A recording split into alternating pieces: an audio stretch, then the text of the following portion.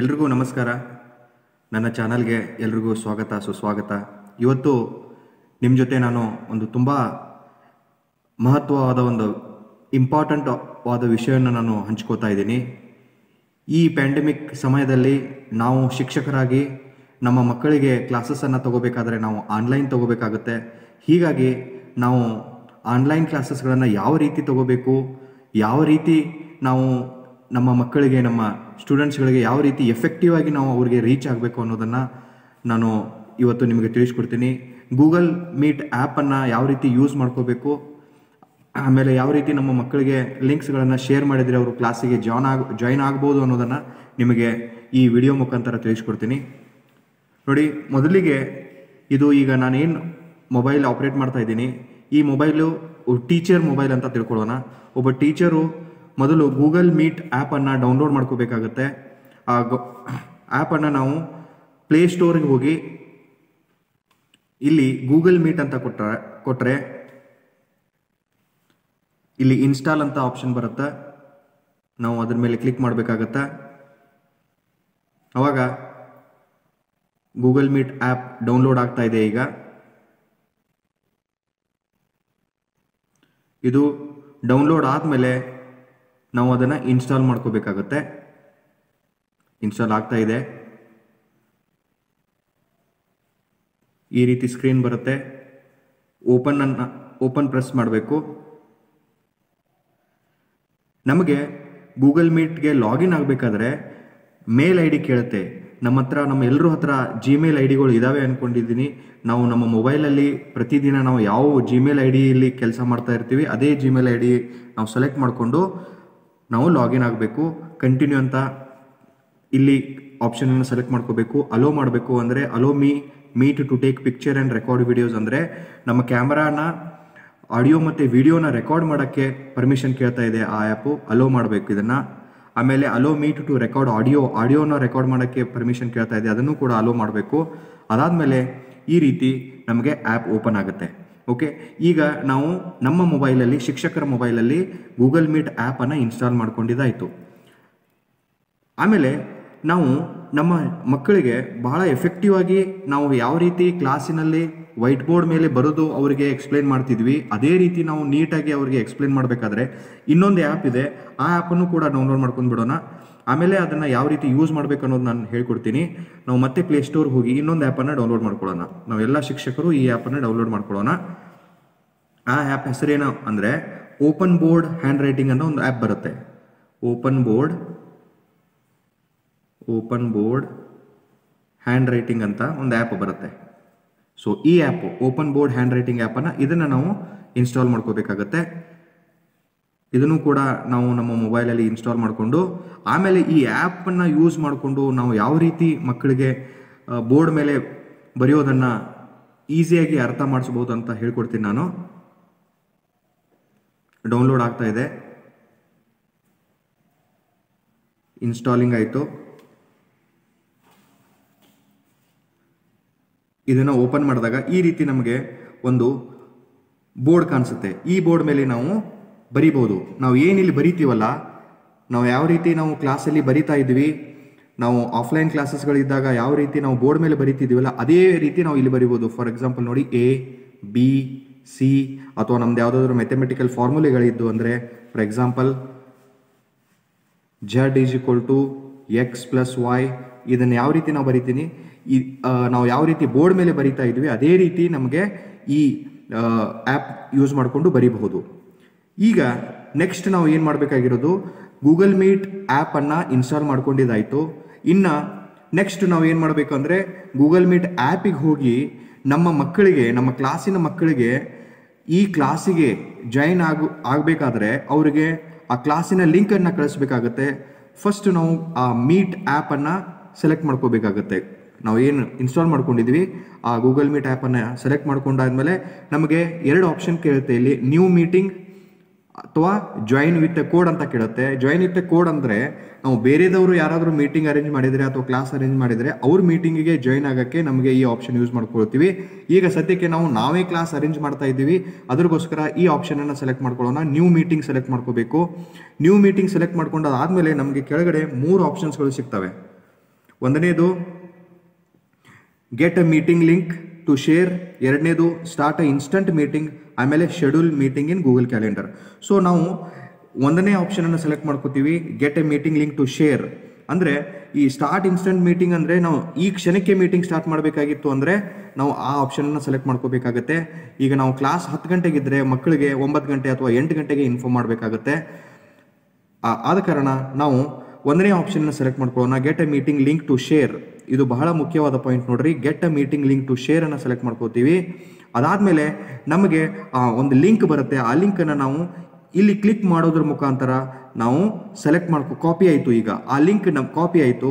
ನಾವು ಯಾರಿಗಾದರೂ ಕಳಿಸ್ಬೋದು. ಫಾರ್ ಎಕ್ಸಾಂಪಲ್ ನಾನೀಗ ಇನ್ನೊಂದು ಮೊಬೈಲ್ಗೆ ಅಥವಾ ಒಬ್ಬ ಸ್ಟೂಡೆಂಟ್ಗೆ ಕಳಿಸ್ತೀನಿ ಆ ಲಿಂಕನ್ನು ವಾಟ್ಸಪ್ ಮುಖಾಂತರ ವಾಟ್ಸಪ್ಪಲ್ಲಿ ಆ ಸ್ಟೂಡೆಂಟ್ ಕಾಂಟ್ಯಾಕ್ಟ್ ಇದೆ. ಆ ಕಾಂಟ್ಯಾಕ್ಟ್ಗೆ ನಾನು ಒಂದು ಲಿಂಕನ್ನು ಕಳಿಸ್ತೀನಿ. ಕ್ಲಾಸ್ ಲಿಂಕನ್ನು ಕಳಿಸ್ತೀನಿ. ಆ ಲಿಂಕನ್ನು ಯೂಸ್ ಮಾಡಿಕೊಂಡು ಆ ಸ್ಟೂಡೆಂಟ್ ಜಾಯ್ನ್ ಆಗ್ಬೋದು. ಸೊ ಈಗ ನಾನು ಒಂದು ಸ್ಟೂಡೆಂಟ್ಗೆ ಕಳಿಸ್ತೀನಿ ಆ ಲಿಂಕನ್ನು ಓಕೆ ಈಗ ನಾನು ಆ ಲಿಂಕನ್ನು ಒಬ್ಬ ಸ್ಟೂಡೆಂಟ್ಗೆ ಕಳಿಸಿದೆ. ಈಗ ನಾನು ನಿಮಗೆ ನೆಕ್ಸ್ಟ್ ಏನು ಹೇಳ್ಕೊಡ್ತೀನಿ ಅಂದರೆ, ಒಬ್ಬ ಸ್ಟೂಡೆಂಟ್ ಆಗಿ ಯಾವ ರೀತಿ ಆ ಲಿಂಕನ್ನು ಕ್ಲಿಕ್ ಮಾಡ್ತಾನೆ, ಯಾವ ರೀತಿ ಅವನು ಕ್ಲಾಸಿಗೆ ಜಾಯ್ನ್ ಆಗಬೇಕು ಅನ್ನೋದನ್ನು ನಾನು ಹೇಳ್ಕೊಡ್ತೀನಿ. ನೋಡಿ, ಈಗ ನಾನು ಸ್ಟೂಡೆಂಟ್ ಮೊಬೈಲನ್ನು ಓಪನ್ ಮಾಡ್ತೀನಿ. ಇದು ಇದು ಸ್ಟೂಡೆಂಟ್ ಮೊಬೈಲ್ ಇದು. ಇದು ಸ್ಟೂಡೆಂಟ್ ಮೊಬೈಲ್. ಇಲ್ಲಿ ನಾನು ಈ ಈ ಸ್ಟೂಡೆಂಟ್ ಮೊಬೈಲ್ಗೆ ನಾನು ಲಿಂಕನ್ನು ಕಳಿಸಿದ್ದೆ. ಸ್ಟೂಡೆಂಟ್ ಮೊಬೈಲ್ಗೆ ಲಿಂಕನ್ನು ಕಳಿಸಿದ್ದೆ. ಈಗ ಆ ಸ್ಟೂಡೆಂಟ್ ಏನು ಮಾಡ್ತಾನೆ, ಅವನು ವಾಟ್ಸಪ್ಗೆ ಹೋಗಿ ಅವ್ರ ಶಿಕ್ಷಕರು ಕಳಿಸಿರೋದು ಲಿಂಕನ್ನು ಓಪನ್ ಮಾಡ್ತಾನೆ ಅವನು. ಓಪನ್ ಮಾಡಿ ವಾಟ್ಸಪ್ಪಲ್ಲಿ ಆ ಲಿಂಕ್ ಬಂದಿದೆ ಇವಾಗ. ಆ ಲಿಂಕ್ ಮೇಲೆ ಅವನು ಕ್ಲಿಕ್ ಮಾಡ್ತಾನೆ. ಸ್ಟೂಡೆಂಟ್ ಆ ಲಿಂಕ್ ಮೇಲೆ ಕ್ಲಿಕ್ ಮಾಡ್ತಾನೆ. ಕ್ಲಿಕ್ ಮಾಡಿದಾಗ ಓಪನ್ ಆಲ್ರೆಡಿ ಅವನ ಮೊಬೈಲಲ್ಲಿ ಕೂಡ ಗೂಗಲ್ ಮೀಟ್ ಇರಬೇಕು. ನಾನು ಯಾವ ರೀತಿ ಅದನ್ನು ಹೇಳ್ಕೊಟ್ಟೆ, ಗೂಗಲ್ ಮೀಟ್ ಯಾವ ರೀತಿ ಇನ್ಸ್ಟಾಲ್ ಮಾಡಬೇಕು ಅನ್ನೋದನ್ನು ಅದೇ ರೀತಿ ಅವನು ಕೂಡ ಗೂಗಲ್ ಮೀಟನ್ನು ಇನ್ಸ್ಟಾಲ್ ಮಾಡ್ಕೊಂಡಿರ್ತಾನೆ. ಇನ್ಸ್ಟಾಲ್ ಮಾಡ್ಕೊಂಡಿದ್ದಾರೆ open Google Meet link with this Meet ಅಂದರೆ ಗೂಗಲ್ ಮೀಟ್ ಮುಖಾಂತರ ಓಪನ್ ಮಾಡೋಕ್ಕೆ ಅವನ ಪರ್ಮಿಷನ್ ಕೇಳುತ್ತೆ ಜಸ್ಟ್ ಒನ್ಸ್ ಅಂತ ಸೆಲೆಕ್ಟ್ ಮಾಡ್ಕೋಬೇಕು. ಅವಾಗ ಅವನು ಮೇಲ್ ಐ ಡಿ ಯೂಸ್ ಮಾಡಿಕೊಂಡು ಅವನು ಲಾಗಿನ್ ಆಗ್ತಾನೆ. ಲಾಗಿನ್ ಆಗಿ ಈ ರೀತಿ ನಾವು ಈ ಲಿಂಕನ್ನು ಕ್ಲಿಕ್ ಮಾಡಿಕೊಂಡು ಜಸ್ಟ್ ಒನ್ಸ್ ಕ್ಲಿಕ್ ಮಾಡಿ ಮೇಲ್ ಐ ಡಿ ಯೂಸ್ ಮಾಡಿಕೊಂಡು ಆ ಲಿಂಕ್ ಮೇಲೆ ಕ್ಲಿಕ್ ಮಾಡಿಕೊಂಡಾಗ ಈಗ ಏನಾಗುತ್ತೆ? ಇಲ್ಲಿ ಬಹಳ ಇಂಪಾರ್ಟೆಂಟ್ ಪಾಯಿಂಟು ಸ್ಟೂಡೆಂಟ್ ಮೊಬೈಲಲ್ಲಿ ಅವನು ಕ್ಲಾಸ್ ಕೇಳಬೇಕಾದ್ರೆ ಅವನ ಕ್ಯಾಮ್ರಾ ಮತ್ತು ಅವನ ಆಡಿಯೋ ಎರಡು, ಇದು ಕ್ಯಾಮ್ರಾ ಇದು ವಿಡಿಯೋಗೆ ಇದು ಆಡಿಯೋಗೆ ಅವನು ಎರಡೂ ಆಫ್ ಮಾಡ್ಕೋಬೇಕಾಗತ್ತೆ ಸ್ಟಾರ್ಟಿಂಗು ಆಮೇಲೆ ಅವ್ನಿಗೆ ಏನಾದರೂ ಡೌಟ್ಸ್ ಇದ್ದರೆ ಅವನನ್ನ ಕ್ಲಾಸ್ ನಡಿಬೇಕಾದ್ರೆ ಡೌಟ್ಸ್ ಇದ್ದರೆ ಅದನ್ನು ಆನ್ ಮಾಡ್ಕೊಂಡು ಅವ್ನು ಕೇಳ್ಬೋದು ಆಮೇಲೆ.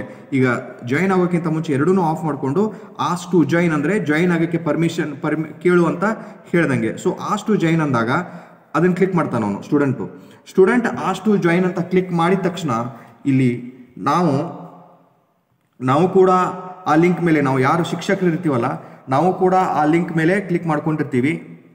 ಸೊ ನಾವು ಮೀಟಿಂಗಲ್ಲಿ ಇರ್ತೀವಿ ಈಗ ನಾನು ಮೀಟಿಂಗಲ್ಲಿ ಇದ್ದೀನಿ. ಈಗ ಆ ಸ್ಟೂಡೆಂಟ್ ನನಗೆ ಆಸ್ ಟು ಜಾಯಿನ್ ಅಂತ ಕೇಳಿದ್ನಲ್ಲ, ಆ ಸ್ಟೂಡೆಂಟ್ದು ಶಿಕ್ಷಕರಿಗೆ ಈ ರೀತಿ ಒಂದು ನೋಟಿಫಿಕೇಶನ್ ಬರುತ್ತೆ. ಅದರಲ್ಲಿ ಡಿನೈ ಎಂಟ್ರಿ ಅಥವಾ ಅಡ್ಮಿಟ್ ಅಂತ ಎರಡು ಆಪ್ಷನ್ ಇರ್ತವೆ. ಆ ಸ್ಟೂಡೆಂಟು ಯಾರಿಗೆ ನಾವು ರಿಕ್ವೆಸ್ಟ್ ಕಳಿಸಿದ್ದೀವಿ, ಯಾರಿಗೆ ಕ್ಲಾಸ್ ಜಾಯಿನ್ ಆಗೋಕ್ಕೆ ಲಿಂಕನ್ನು ಕಳಿಸಿದ್ದೀವಿ, ಆ ಸ್ಟೂಡೆಂಟು ಈಗ ಕ್ಲಾಸ್ ಜಾಯಿನ್ ಆಗೋಕ್ಕೆ ಪರ್ಮಿಷನ್ ಕೇಳ್ತಿದ್ದಾನೆ. ಅದಕ್ಕೆ ನಾವು ಅಡ್ಮಿಟ್ ಆಪ್ಷನನ್ನು ಕ್ಲಿಕ್ ಮಾಡಬೇಕು. ಈಗ ಏನಾಯಿತು ಅಂದರೆ, ನಾವು ಆ ಸ್ಟೂಡೆಂಟನ್ನು ಕ್ಲಾಸಿಗೆ ಜಾಯಿನ್ ಮಾಡ್ಕೊಂಡಿದ್ದೀವಿ ಸೊ ಯಾರಿಗೆ ನಾನು ಲಿಂಕ್ ಕಳಿಸಿದೆ ಆ ಸ್ಟೂಡೆಂಟ್ ನನ್ನ ಕ್ಲಾಸಲ್ಲಿದ್ದಾನೆ ಈ ರೀತಿ ನಾವು ಎಲ್ಲ ಸ್ಟೂಡೆಂಟ್ಸ್ಗೆ ನಮ್ಮ ಸ್ಟೂಡೆಂಟ್ಗಳ ಗ್ರೂಪ್ ಇರ್ತವೆ. ಆ ಗ್ರೂಪ್ಗಳಿಗೆ ನಾವು ಲಿಂಕ್ಗಳನ್ನು ಕಳಿಸಿದರೆ ಎಲ್ಲ ಪ್ರತಿಯೊಬ್ಬ ಸ್ಟೂಡೆಂಟು ಕೂಡ ಲಿಂಕ್ ಯೂಸ್ ಮಾಡ್ಕೊಂಡು ಅವನು ಕ್ಲಾಸಿಗೆ ಜಾಯ್ನ್ ಆದರೆ ನಾವು ಪ್ರತಿಯೊಬ್ಬ ಸ್ಟೂಡೆಂಟ್ಗೂ ಅಡ್ಮಿಟ್ ಅಂತ ಪರ್ಮಿಷನ್ ಕೊಟ್ಟರೆ ಪ್ರತಿಯೊಬ್ಬ ಸ್ಟೂಡೆಂಟು ಹತ್ತು ಸ್ಟೂಡೆಂಟ್ ಇದ್ದರೆ ಹತ್ತು ಸ್ಟೂಡೆಂಟು ಈ ಮೀಟಿಂಗ್ಗೆ ಜಾಯ್ನ್ ಆಗ್ತಾರೆ. ಈಗ ಎಲ್ಲ ಸ್ಟೂಡೆಂಟ್ಸು ಜಾಯ್ನ್ ಆಗಿದ್ದಾರೆ ಕ್ಲಾಸ್ಗೆ ಜಾಯ್ನ್ ಆದಮೇಲೆ ನೆಕ್ಸ್ಟ್ ಬಹಳ ಇಂಪಾರ್ಟೆಂಟ್ ಏನಪ್ಪ ಅಂದರೆ ನಾವು ಈಗ ಸ್ಟೂಡೆಂಟ್ಗೆ ನಾವು ಮಾತಾಡೋದು ಮಾತ್ರ ಕೇಳಿಸ್ಬೇಕಾಗಿತ್ತು ಅಂದರೆ ನಾವು ಏನು ಮಾಡಬೇಕು? ಇಲ್ಲಿ ಆಡಿಯೋ ಆಪ್ಷನ್ ಇರುತ್ತೆ ನಮಗೆ. ಆ್ಯಸ್ ಅ ಟೀಚರ್ ಇಲ್ಲಿ ಒಂದು ಆಡಿಯೋ ಆಪ್ಷನ್ ಇದೆ. ಅದನ್ನು ಹಿಂಗೆ ಎನೇಬಲ್ ಮಾಡಬೇಕು. ಈಗ ಆಡಿಯೋ ಆಪ್ಷನ್ ನಾನು ಎನೇಬಲ್ ಮಾಡಿದರೆ ಏನಾಗುತ್ತೆ? ನಾನು ಏನು ಮಾತಾಡ್ತಾ ಇರ್ತೀನಿ? ನಾನು ಏನು ಮಾತಾಡ್ತಾ ಇರ್ತೀನಿ? ಅದರ ಎಲ್ಲ ಮಕ್ಕಳಿಗೆ ಕ್ಲಾಸಲ್ಲಿರೋ ಮಕ್ಕಳಿಗೆ ಕೇಳಿಸ್ತಾ ಇರುತ್ತೆ. ನಾನು ಇದನ್ನು ಆಫ್ ಮಾಡಿದರೆ ನಾನು ಏನೇ ಮಾತಾಡಿದ್ರು ಕೂಡ ಮಕ್ಕಳಿಗೆ ಕೇಳಿಸ್ತಾ ಇರಂಗಿಲ್ಲ. ಅಥವಾ ನನ್ನ ಕ್ಯಾಮೆರಾ ನಾನು ಆನ್ ಮಾಡಿದರೆ ನನ್ನ ಕ್ಯಾಮ್ರಲ್ಲಿ ಏನೇನು ಕ್ಯಾಪ್ಚರ್ ಆಗ್ತಾ ಇರುತ್ತೆ ಅದೆಲ್ಲ ನಮ್ಮ ಮಕ್ಕಳಿಗೆ ಕಾಣಿಸ್ತಾ ಇರುತ್ತೆ. ಸೊ ನನ್ನ ಕ್ಲಾಸ್ಗೆ ನಾನು ಯಾವ ರೀತಿ ನನಗೆ ಆಡಿಯೋ ಮಾತ್ರ ಬೇಕಾ ವಿಡಿಯೋ ಬೇಕಾ, ಎರಡೂ ಬೇಕಾ ಅದನ್ನು ನೋಡಿಕೊಂಡು ನಾನು ಬರೀ ಮಾತಾಡೋದಿತ್ತು ಅಂದರೆ ನಾನು ಇದನ್ನು ಮಾತ್ರ ಎನೇಬಲ್ ಮಾಡಿಕೊಂಡು ಮಾತಾಡೋದು ನನ್ನ ಮಾತಾಡೋದು ಆ ಕ್ಲಾಸ್ ಆದ ತಕ್ಷಣ ನಾನು ಅದನ್ನು ಡಿಸೇಬಲ್ ಮಾಡ್ಬೋದು. ಈಗ ಈ ಆಡಿಯೋ ಆಪ್ಷನ್ ಏನು ಮಾಡ್ತಾ ಇದೆ? ಬರೀ ನಾನು ಮಾತಾಡೋದು ಮಾತ್ರ ಕೇಳಿಸ್ತಾ ಇದೆ. ಈಗ ನನ್ನ ಮಕ್ಕಳಿಗೆ ನಾನು ಏನಾದರೂ ಬರೆದು ತೋರಿಸ್ಬೇಕಾಗಿತ್ತು ಅಂದರೆ, ಬೋರ್ಡ್ ಮೇಲೆ ಬರಿಬೇಕಾಗಿತ್ತು ಅಂದರೆ ಏನು ಮಾಡಬೇಕು? ಬಹಳ ಇಂಪಾರ್ಟೆಂಟ್ ಸ್ಟೆಪ್ ನೋಡ್ರಿ. ಇಲ್ಲಿ ಮೂರು ಡಾಟ್ಸ್ ಇದಾವೆ. ಈ ಕಾರ್ನರಲ್ಲಿ ಮೂರು ಡಾಟ್ಸ್ ಇರ್ತವೆ. ಆ ಡಾಟ್ಸ್ಗಳ ಮೇಲೆ ನಾವು ಕ್ಲಿಕ್ ಮಾಡಿದಾಗ ಇಲ್ಲಿ ಇನ್ ಕಾಲ್ ಮೆಸೇಜಸ್ ಅಂತ ಒಂದು ಆಪ್ಷನ್ ಇದೆ. ಶೇರ್ ಕ್ರೀ ಸ್ಕ್ರೀನ್ ಅಂತ ಒಂದು ಆಪ್ಷನ್ ಇದೆ ಶೋ ಕ್ಯಾಪ್ಷನ್ಸ್ ಅಂತ ಆಪ್ಷನ್ ಇದೆ ರಿಪೋರ್ಟ್ ಅ ಪ್ರಾಬ್ಲಮ್ ಅಂತ ಆಪ್ಷನ್ ಇದೆ ಸೆಟ್ಟಿಂಗ್ಸ್ ಇದೆ ರಿಪೋರ್ಟ್ ಅಬ್ಯೂಸ್ ಅಂತ ಇದೆ. ಇವು ರಿಪೋರ್ಟ್ ಅ ಪ್ರಾಬ್ಲಮ್ ಏನಾದರೂ ತೊಂದರೆ ಇತ್ತು ಅಂದರೆ ನಾವು ಇಲ್ಲಿ ಕಂಪ್ಲೇಂಟ್ ಮಾಡ್ಬೋದು. ಸೆಟ್ಟಿಂಗ್ಸ್ಗೆ ಹೋಗ್ಬೋದು, ಏನಾದರೂ ಚೇಂಜಸ್ ಮಾಡ್ಕೋಬೇಕಾಗಿತ್ತು ಅಂದರೆ ಎರಡು ಇವು ಎರಡು ಮೇನ್ ಮೇಲ್ಗಡೆ ಏನು ಇನ್ ಕಾಲ್ ಮೆಸೇಜಸ್ ಮತ್ತು ಸೇರ್ ಸ್ಕ್ರೀನ್ ಇದಾವಲ್ಲ, ಈ ಎರಡು ಆಪ್ಷನ್ಸ್ಗಳು ಬಹಳ ಮಹತ್ವದ್ದು. ಸೇರ್ ಸ್ಕ್ರೀನ್ ಅಂದರೆ ನಾನೀಗ ಮೊಬೈಲಲ್ಲಿ ಏನೇನು ಆಪರೇಟ್ ಮಾಡ್ತೀನಿ ಅದೆಲ್ಲ ನಮ್ಮ ಮಕ್ಕಳಿಗೆ, ನಮ್ಮ ಕ್ಲಾಸಲ್ಲಿರೋ ಸ್ಟೂಡೆಂಟ್ಸ್ಗೆ ಕ್ಲಾಸ್ಗೆ ಜಾಯ್ನ್ ಆಗಿರೋ ಸ್ಟೂಡೆಂಟ್ಸ್ಗೆ ನೋಡಬೇಕಾಗಿತ್ತು ಅಂದರೆ ಶೇರ್ ಸ್ಕ್ರೀನ್ ಅಂತ ನಾನು ಕ್ಲಿಕ್ ಮಾಡ್ತೀನಿ. ಈಗ ಶೇರ್ ಸ್ಕ್ರೀನ್ ಮಾಡಿದಾಗ ಸ್ಟಾರ್ಟ್ ಶೇರಿಂಗ್ ಅಂತ ಒಂದು ನನಗೆ ಆಪ್ಷನ್ ಬರುತ್ತೆ. ಅದನ್ನು ಸ್ಟಾರ್ಟ್ ಸ್ಕೇರಿಂಗ್ ಮಾ ಸ್ಕ್ರೀನಿಂಗ್ ಮಾಡಿ ಸ್ಟಾರ್ಟ್ ನೋ ಅಂತ ಕೊಡ್ತೀನಿ.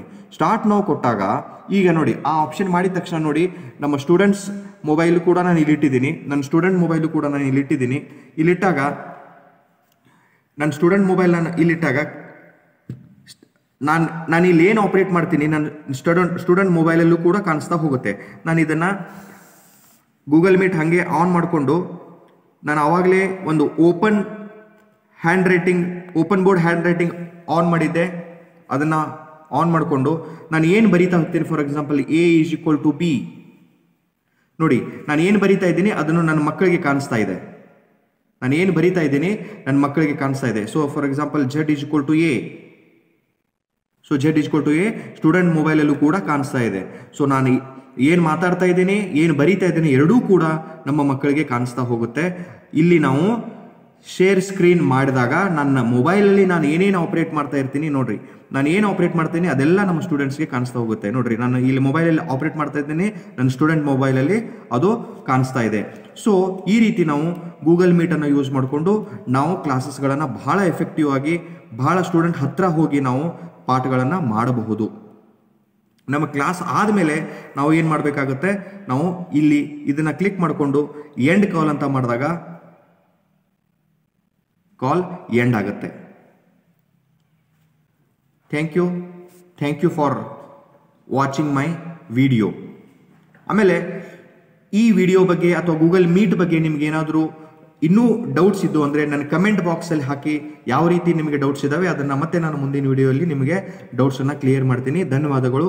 If you like this video ದಯವಿಟ್ಟು ಈ ವಿಡಿಯೋನ ಶೇರ್ ಮಾಡಿ, ನನ್ನ ಚಾನಲ್ಗೆ ಸಬ್ಸ್ಕ್ರೈಬ್ ಮಾಡಿ. ಧನ್ಯವಾದಗಳು.